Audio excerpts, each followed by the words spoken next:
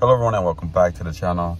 This is a little quick little um, video about one of my favorite mods about my new Ram 2021 Bighorn.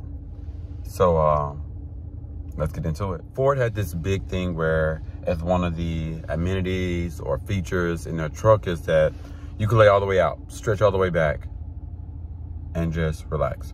So right now my back row is up. I have the crew cab but uh, yeah.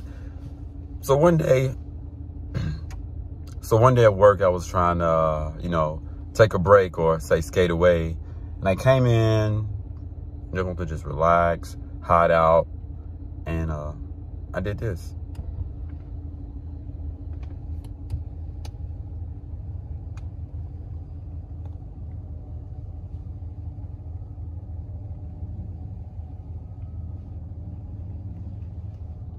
Literally, I could lay all the way out in this truck and it's so freaking comfortable.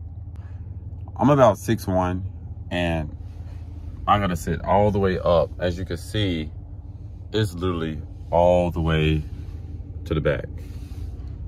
You know, if anything I like about my Ram, I like that about 100%.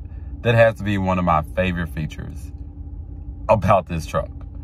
Um, but yeah, stay tuned to a new video, my top five features that I do like about it. But that is my number one right there. Being able to just, you know, just lay out and just take a nap and just be comfortable and just chill and talk. You know, you could pillow talk or kind of truck talk with someone if you had someone next to you. But yeah, my favorite feature.